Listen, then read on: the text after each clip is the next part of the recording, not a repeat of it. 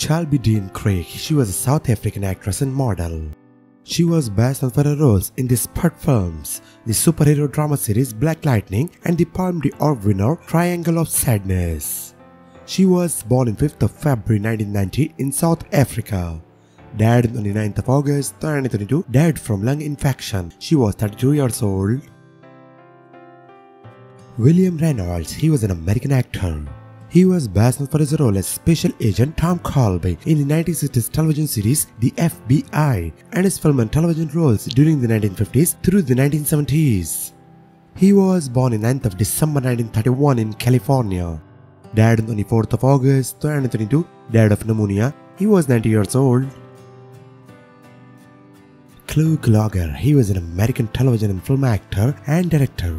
He first became known for his work in television. He later had a second career as a horror film actor. He was born on 16th of November 1928 in Oklahoma.